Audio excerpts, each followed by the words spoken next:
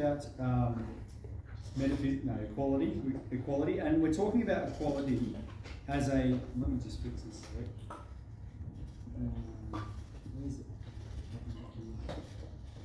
So, Technical difficulties, please stand by. There we go. Got it.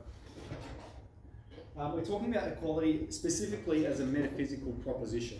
Okay, so we're talking specifically about the question: Are humans equal?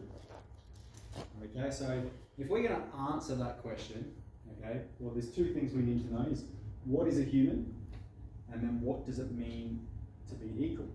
All right, so this is something that we're sort of taught is really nice and lovely, and wouldn't it be wonderful if we should everyone's equal and we should treat everyone equally, and they should have equal opportunities, and we can just picture this beautiful world where everyone's the same or equal. Um, so, what is a human? So let's. Um, I'm going to get you guys to tell me a couple of ideas, but I'm going to restrict the lens. Okay. If you were a materialist, okay, so that means you think everything is just made of atoms. What is a human? Nat. Just atoms. Excellent. So that is one answer. A human is just a bunch of atoms. All right. What about if you were a Christian? If we we're going to ask a Christian, um, what is a person? What might they say? What is a human? Child of God. Child of God. Perfect. That's exactly what I had written down. I would say you're a child of God. Okay. If we were to ask Aristotle, who can remember what Aristotle said a human is? He said. Child of Zeus. That's right. he said he said a rational animal. So a type of animal, but with rational faculties, and specifically a soul, an essence. The soul was the essence. Um, what about? Can, can we think of any other ideas, any other answers to this question? What is a human?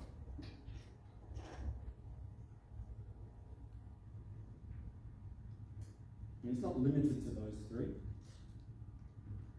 Anyone want to go and see what they think a human is? All right. Um, it's probably also necessary, if we're talking about what a human is, to talk about the temporal limits of a human. Um, does a uh, does a human have to be alive? All right. So if you have a dead body in the morgue, is it a human? It's the body of a human. Is it a human? Um, obviously, it's not equal to a living human, all right, because doctors are allowed to perform experiments on it, they're allowed to practice performing surgeries on um, dead bodies. Any other ideas for what it means to be human? Cool. So then, what, what about like equal? What does it mean for two things to be equal? And so if we're speaking specifically mathematically, it means they're the same, they have the same um, physical properties. All right. Now, obviously, that's not a good uh, a good description of humans being equal, is it? The same physical properties, because you know some people are taller, some people are shorter, some people have blonde hair, some people have brown hair. So we're not all the same physically. What might another idea of equal be to say that humans are equal? Same rights. They have the same rights. Excellent. Okay, they all have equal rights. And so what that is is they're equal before you might say the law. Equal before the law. Okay, and that's probably um, you know a, good- a good answer I think for what it means in our society. And again, if we were to look at it through a Christian lens, lens, you might say equal in the eyes of God.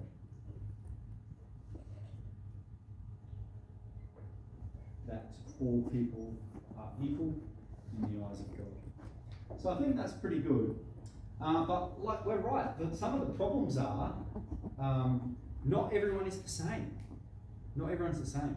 And so when we talk about humans being equal, we treat them as equal before the law, but they're not physically the same. And it creates some problems treating them equally.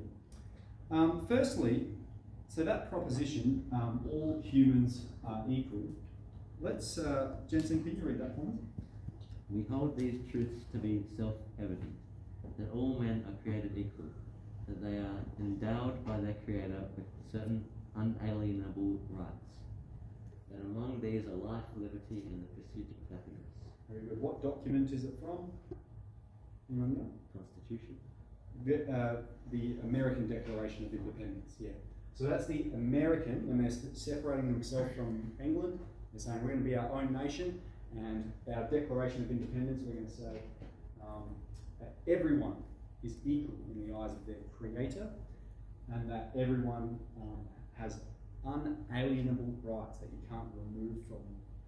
These being life, liberty, and the pursuit of happiness. And this was used later by those in opposition to the, um, in opposition to slavery, so as a justification for why the slaves should be free. Um, so the question then is, if we're going to say that humans are equal, the, the claim here is that they have to be created equal. All right. So as a metaphysical proposition, all humans are equal. All right.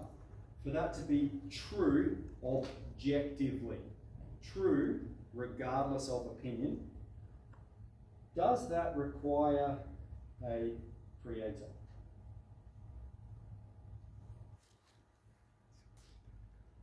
Any ideas?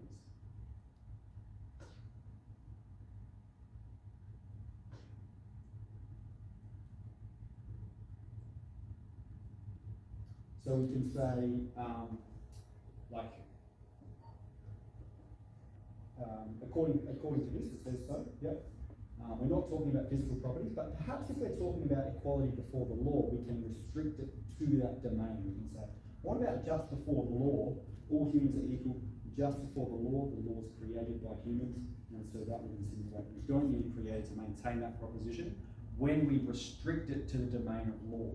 But if we're talking about equal transcending law, if law, let's say this is a sort of construct, then we would say, um, say yes. So it depends on the domain with which we ask the question. Okay, so um, who has seen? Uh, I, don't, I don't know what's going on here. Who has seen this comic before? For a fair selection, everybody has to take the same exam. Okay, please climb that tree. Okay, so this is an, this is an example of a test, right? Um, everyone has the same test, but the problem is um, some people are going to be really good at this test, climbing the tree, whereas others might find it a bit challenging. Okay, the fish might find it a bit challenging. So when, if you go on to study teaching, this is one of the things they present to you and they tell you your students are like these animals, you know, they've all got different gifts and talents. And you know, try and get the monkey to swim in the water. Like the monkey can climb the tree well, but that's only one type of test. Uh, and so it's obviously true that humans are very different. So how can we how can we make them how can we treat them all equally if they're so very different? And is that a good idea to treat them equally before the law? So let's see. We've probably seen this image before. Yep, okay, so just pointing out the difference between what is equality and what is equity. Equity, this sort of golden ideal, because it's acknowledging, yes, people aren't equal, people are different. And so, what we should do then, this is going to be fantastic. We're going to create this utopia where those that don't have the same characteristics that allow them to flourish are given more so that they have the same opportunity to flourish. Okay? Um, but again, people are radically different. Okay, so when we talk about just biological differences with people, okay, some people, like your height dictated by your genetic code, okay, plus nutrition, you need to be given the correct amount of nutrition, so the height that you'll go grow to. And generally speaking, the taller you are, the more athletic you are. Okay? Generally speaking as well, like the, the better your metabolism, the the thinner you'll be, the more athletic you will be. And that endows all kinds of advantages over you. Well, firstly, like if we're talking in hunter-gatherer days, a survival advantage, and then even in today's day and age, competition. Um, even time born during the year, I think I might have mentioned this to you guys last year, but did you know that most professional athletes are born in the first half of the year? The majority. Anyone think why that is? Anyone remember why that is? Well, is it because they'll be older? in like an age group. Yep. Like if they're playing under 12s, then they'll be slightly older than the other half of the people. Correct. Yep. And so if they're slightly older, that means they're on average bigger. And if they're on average bigger, it means they're on average better. And if they're better, then it spends, means they spend more time on the field, like let's take footy or soccer. And if they spend more time on the field, that means they have more time developing their skills. And so, just on average, because of the time when they were born, they're given more opportunities at development. Isn't that fascinating? Um, so we've got athletic prowess, time born during the year, okay? And these other two, when we talk about what are the highest predictors of long-term success, what it is for you to be successful in life across many domains, okay, across wealth and health, um, and you know uh, productivity, and whether you're going to rear children and so forth. The biggest predictors of long-term success are cons- conscientiousness and intelligence. Okay, what is conscientiousness? Hard work. Okay, the proclivity to work hard, to try hard, to sacrifice now for success later. Okay, or for something good later. To go home and do homework, right? To do homework, to do your maths homework, to do all the questions. That's like it's not something you really want to do. It's not something that gives you pleasure, but you're making a sacrifice now for a long-term gain. Um, so psychologists in here, who's heard of the marshmallow test?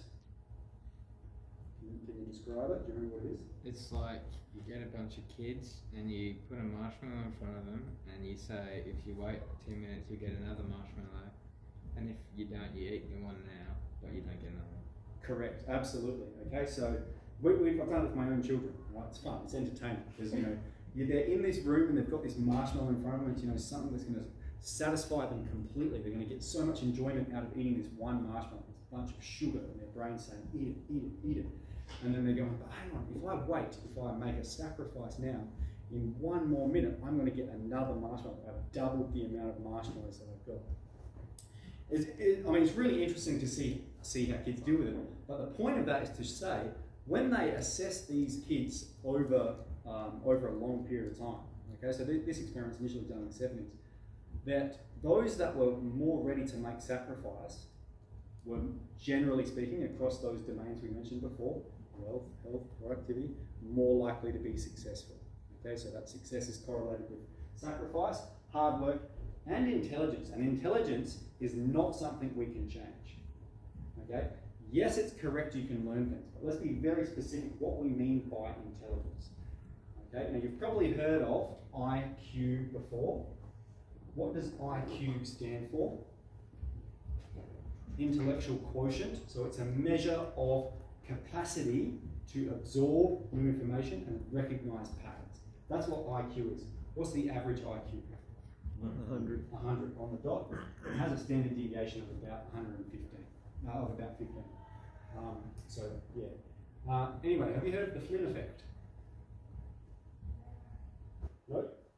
So, the Flynn effect says, um, on average, children perform a whole standard deviation better on IQ tests than their parents.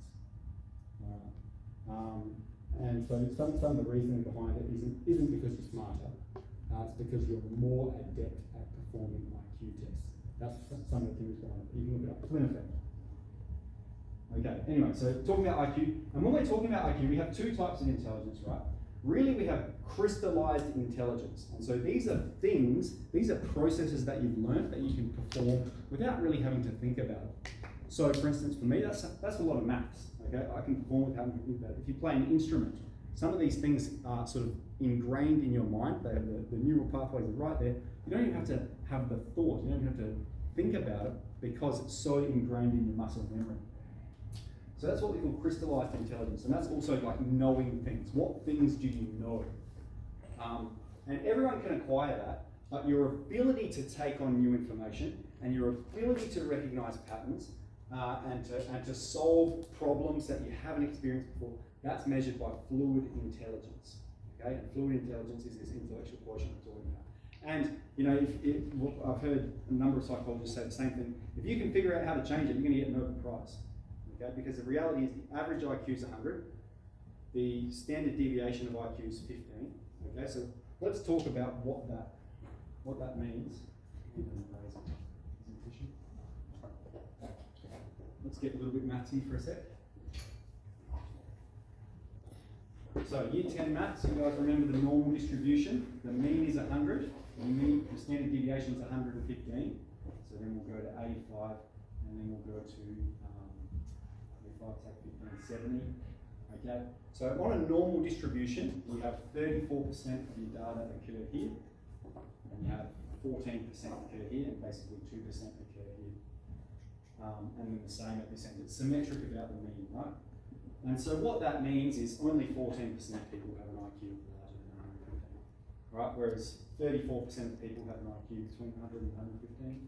Notice how 50% have more than 100, 50% have lower than 100. Um, but so if it's something you can change, then what you can do is you can make these people that find life really hard. Okay? So we've said if IQ and conscientiousness are, are the best predictors of long-term success, then these people that just so happen, just so fortunate to be born with high IQ are more likely to be successful in life. So what we want to do, what can we do with these people? All right. How can we how can we provide them with an equal opportunity? And when we when you think of your own what you're doing in year 12 at the moment, okay, you, at the end of the year you're going to get a number, an ATAR, okay? And generally speaking, they correlate quite well with IQ tests because what is it? Okay? What is that number you're going to get at the end of the year by an indication of how hard you've worked and how able you are to take new things in and then reciprocate. It's, a, it's an IQ test. That's what this is. That's what that's what your ATAR is at the end of the year. Generally speaking, an IQ test. So people are radically different, right? And when we look at um, how, how can we provide this sort of equal opportunity, you know, with the image here, how is it that we can give everyone the same opportunity? Because it seems to be the way we measure it, the way we measure if people have the equal opportunity, is we look at the outcome. Okay, so I've got up here a number of sort of contentious things that are happening at the moment. Firstly, if you look at um, Ashkenazi Jews, so they're a subset of the Jewish population that tend to that sort of grew, um, grew up around Europe, and they have an average IQ of 115. So that group of the population has an IQ that's a whole standard deviation higher than the whole population. The average IQ is 115. And these guys are like renowned for um, owning banks and big companies and so forth. That's where you get these conspiracies that the Jews are going to take over the world because they have these people in these high positions because their subset of the population has a high IQ. All right, so they, this group of people, have an opportunity that those that aren't born within that community don't have. They have some genetic advantage. All right, and so when we think about it in this circumstance, one way you could give other people the same opportunity is, is to prop them up, okay? But you could also chop these people down a bit. All right, you could chop their legs off to make them the same height. Okay, um, this is a lawsuit that's going on at the moment is because um, you think of Harvard, probably the, one of the most prestigious universities in America, right? And they're, um, they're getting a, they have a lawsuit against some student organisation, I think it's called Students for Equal Opportunity or something like that. Because what's happening is Harvard, um, they, they have a number of criteria that they assess students coming in on, okay? And one of them is academic performance. And one of the things we have is that like almost all Asian students that apply to Harvard are academically more successful than white people of colour and um, Hispanic students that apply to Harvard. Okay, almost all of them. Um, and so Harvard is discriminating against Asians by only allowing a certain amount in. All right. So if we were just going to treat them equally, we'd say, here's the academic result you need, and um, if you get that, then you can come, you can come in. Right? But they're sort of lowering the standards so that other groups of people can get in as well. Uh, another example, like if you go to, um, I went to uh, one of the universities a couple of years ago, the students were doing an engineering tour, and the walls of the engineering building are lined with posters of women in engineering. Okay, there's like a really big push in engineering, so it's a male-dominated field. 90% of people that work in engineering are men, and so there's a really big push by the universities to get more women into engineering. I had a student a number of years ago. I said, "What are you going to do when you finish school?" She was doing maths and she said, "I'm doing engineering, of course." I said, "Oh, why is that?" She said, "Because there's lots of jobs for women, and there are. That women are selected in engineering jobs over men because of their sex." And the same applies to men, although it's less sort of heard about. The same applies to men in fields like nursing. Okay, that nursing is dominated by women, um, and they want to get more men involved in it. This is a pretty sad one. Australian prisons. Okay, um, Indigenous people vastly overrepresented. So why is it that in, Indigenous Australians are more um, more likely to be in prison than non-Indigenous Australians? So perhaps they haven't had access to the opportunities that allow them to thrive. So how is it that we can um, we can give them the same opportunities that you've had?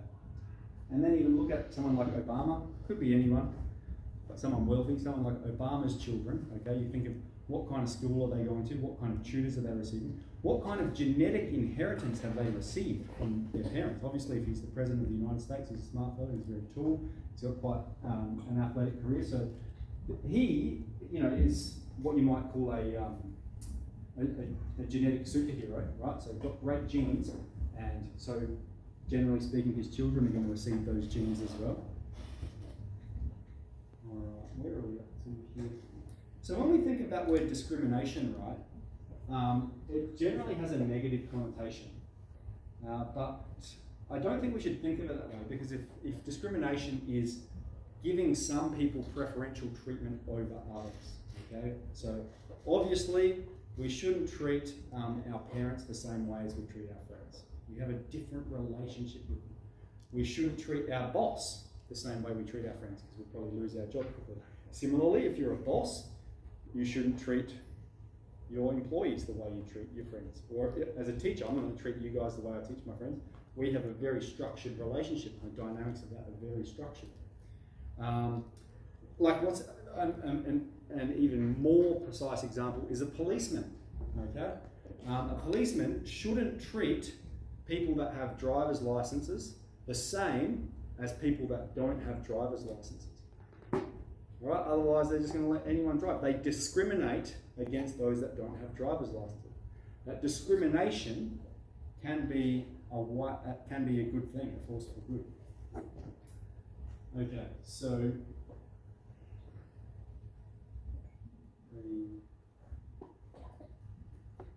don't know what is going on here. There we go. Does anyone know who this is? This is uh, this is why we're talking about this now, because this has recently popped up in the news. Does anyone know? So we're talking a little bit about America today. This is um, Joe Biden, so he's the president of America at the moment. That's his Supreme Court nominee. So they have a Supreme Court, which is like the highest authority in the United States, and one of their members is retiring, so he has to nominate someone. Um, and he said, um, I'm going to nominate a woman of colour, okay, because I want to nominate someone who's a woman, and I want to make, want, nominate someone who is of colour to the board to give them an opportunity to participate in the court. So he's nominated this woman called um, called Ketanji Brown. Um, and so, I mean, there is a question there, like, is it fair to discriminate? Okay, so he's performed discrimination there. He's discriminated against non-people of colour and against non-females um, in, in, this, in this selection. You might say, yes, it's fair because he's providing them with an opportunity. Uh, anyway, it was one thing that the reason this is sort of doing the rounds at the moment is because she was asked.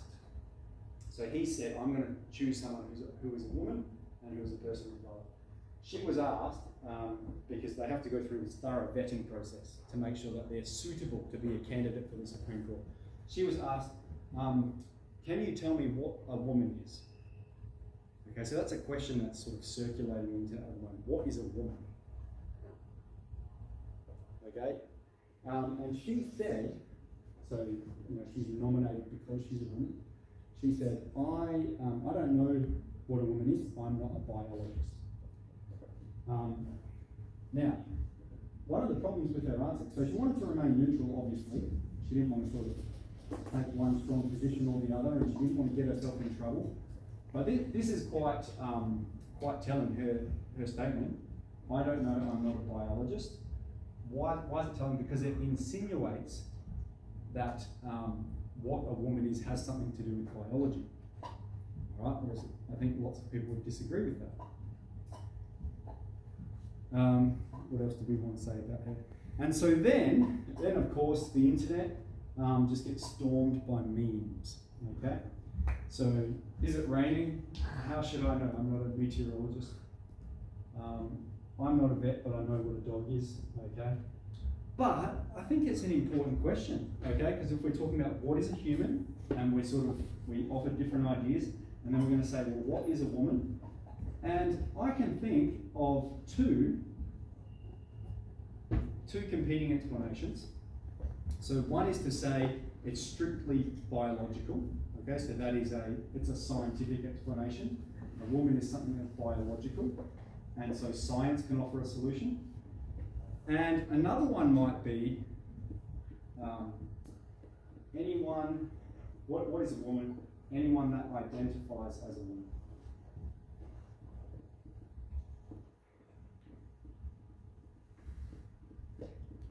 Uh, does anyone have any other ideas? I mean, they're, they're, not mutually exclusive, so there's more options, but these are sort of two competing options, I think. What is, so that's the question, what is a woman? And we can say, well, it depends on the biology, you can say the sex organs, you can say the, um, the genetic code, the chromosomes.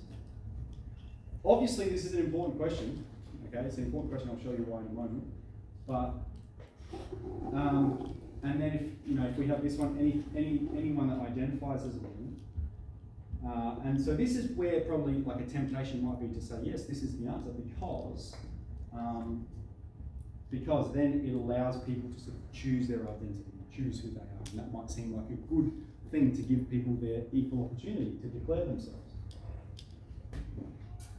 Anyone that identifies as a woman, but one problem with this is, okay, is that it's used the word in the definition. Okay, so if I said, um, what is a car? And you were to say, a car is a thing that is a car. Or if, if, even if you were to say, a car is a thing that um, I that I identify as a car. Has that? It hasn't answered the question. It's just said I mean, you can say the same thing about a table. A table is a thing that I identify as a table. So, I mean, this is a, this is a this is a question, and let's let's say why it's important, and then let's maybe talk about can we come up with any other solutions. Why is it an important question? Okay, firstly, bathrooms. All right, and I mean it goes both ways. Okay, the question obviously goes both ways. What is a man? What is a woman? I'm choosing a woman because it's easy to demonstrate the point of contention. Okay, so firstly, bathrooms. All right, so can someone just um, say that they're a woman and walk into a bathroom? Is so. That's the next one. Prisons. Okay, maybe you guys heard the story of the um, the person in, in the UK who's who was a man in a male prison and said, "I identify as a female." Got transferred to the female prison and then impregnated three inmates there because he raped he raped them.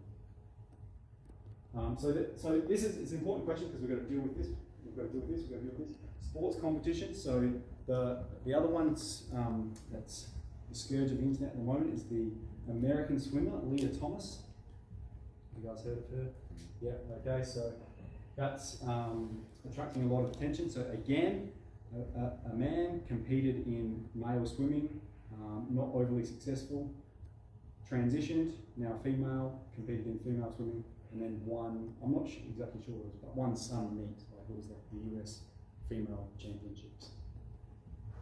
Um, and then, like, furthermore, the question of like, well, when, when are we going to allow, um, you know, when, when's a suitable age for people to recognise that they can perform these physical things on their body? If we restrict tattoos to the age of 18, is it's substantially different from a tattoo, you might argue, uh, and hormone therapy.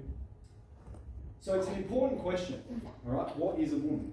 And you know, this is a, it's a simple answer, but the world is a very complex place, isn't it? The world is a very complex place, and maybe it's not maybe it's not a suitable answer.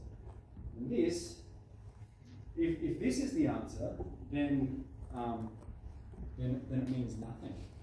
Like, to be a woman means nothing, because it, anything can. So what is, what are the, what's the restrictions of the domain for? Um, is, is it, is it some objective reality, or is it something that's just internal and felt? Know, do, do you guys have any ideas? I'd say it's objective, but like, say, because like the gender dysphoria thing, like that's an objective thing. Yes, So it's still objective. yes, yeah, yeah. So gender dysphoria as a objective, um, and, and what, and, uh, you? Dysphoria. Okay, so that is the, um, that's the, the, the condition of believing you're in the, the wrong body, yep. Um, yep, so that being an, an objective condition. Yeah. Um, an objective category, yep. Um, Yep, so it's, a, it's an objective reality. Um, and how, how do you assess whether someone has gender dysphoria? I mean, that's probably not a question for you guys, it's more of a, more of a, a, a psychologist question. You might say, is, is the tool of assessment just whether they feel that way or not? Because if it, if it is just whether they feel that way, then it's subjective, isn't it? Um, but if it's, yeah. I understand your reluctance to talk about it. I'm reluctant to talk about it. It's an important question. Well, if it's categorized as like a disease, and diseases, like mental ones, even usually have properties. Like, say, if you're going to diagnose someone with anorexia, they Yeah. show symptoms, Yes. or depression, they show symptoms. Yes. So maybe. So- Looking at um, that's that's Aristotle, isn't it? You know, it's like how do we know what a thing is? By what it does. Okay, so how do we know if someone has anorexia? Well, are they exhibiting these, properties? How do we know if someone's gender dysphoric? Are they exhibiting these properties? Yep. Yep. So so um, so then, what are the properties that would exhibit womanness? Because then, then we can start to hone in on what a woman is.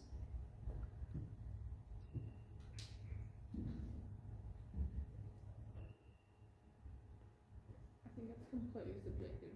You reckon just completely subjective? Yep. To what So- you think a woman is, is just a so um, your complete opinion. just a um, like you'd agree with this one. Any anyone that identifies as a woman? Yep. Yep. Yep. Um, yeah. I think that's why it's so hard to define. It's hard. It's very hard to define. Yeah. Otherwise. Yeah. And so um, yeah, and, and so if that's right, then um, then then uh, yeah, we need to solve these problems, don't we? Um, so uh, so here's another one. Um, like if, if he just makes the statement, "I'm a female," that's what this guy did to show the fallacies of the argument. He says there in quotations, is from the Times. I don't know who this guy is. Do you guys know who Zuby is? So he's a rapper, identifies as a female. Um, so he went on camera, said, I'm a female now, and then lifted these weights, um, and then turned the camera off and stopped identifying as, I don't know, as a female. It- Has he broken the female weightlifting record or? It's just idiots ruining it for everyone else. Yeah, yeah, yeah, yeah. So he's been an idiot? Yeah. Yep. Yep.